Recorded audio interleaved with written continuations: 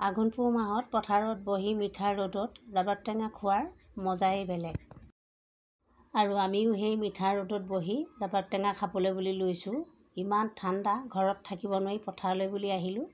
পথাৰৰ এয়া নৰাৰ ওপৰত বহি আমি এয়া ৰবাব টেঙা ৰবাব টেঙা কাটিছে আমাৰ ভতিজাজনীয়ে। এইটো হ'ল মিঠা ৰবাব টেঙা আৰু কালাৰটো বগা। ইমান ধুনীয়া মিঠা মানে খাই ভাল লাগিলে কমহে পৰিলেগৈ। আৰু এয়া চাওক কিমান পুৰঠ টেঙাটো। ঘৰত ৰবাব টেঙা এটাহে আছিলে আৰু সেইটোকে আমি আনি কাটি খাবলৈ বুলি লৈছোঁ।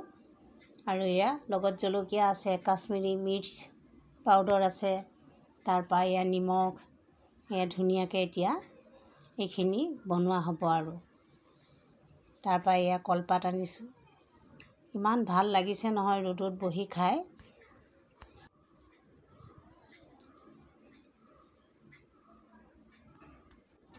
আৰু এয়া আমাৰ হৈ গ'ল। জলকীয়া ভাঙিছে। জলকীয়া এইটো বহুত জ্বলা। সেইকাৰণে কমকৈ দিছে লগতে ইহঁতি কমকৈ খায়। আমি বেলেগকৈ আৰু সানি লৈ খাম জলকীয়া। এতিয়া তাহাঁতৰ হিচাপতে দিছে আৰু। গাঁওবোৰত আজিকালি ৰবাব টেঙাও পাবলৈ নাইকিয়া হৈছে। কিন্তু কাজি নেমু আছে। আৰু এইপিনে চাওক বেলফৈ শুকুৱাইছোঁ বগৰী শুকুৱাইছোঁ। তাৰপৰা এয়া টেঙা আছে গোল নেমু এনেকৈ কৰি ৰ'দত দি দিছোঁ। ৰ'দো অকণমান টানো আছিলে বাৰু। আৰু আমাৰ ঘৰৰ পৰা এয়া পথাৰ লাগি আছে এয়া কাপোৰো দি থৈছোঁ আমি। তাৰপৰা বেলেগ এখন কাপোৰে ছাঁহো দিছোঁ আৰু ইয়াক আকৌ ইভাগে বেলেগকৈ এফুটা দি দিছোঁ। ইয়াক বোলে এনেকৈও খাবলৈ লাগে।